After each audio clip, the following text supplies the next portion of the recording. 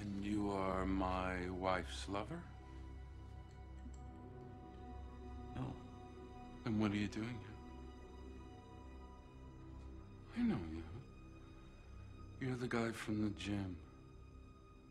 I'm not here representing Hardbodies. Oh, yes. I know very well what you represent. You represent the idiocy of today.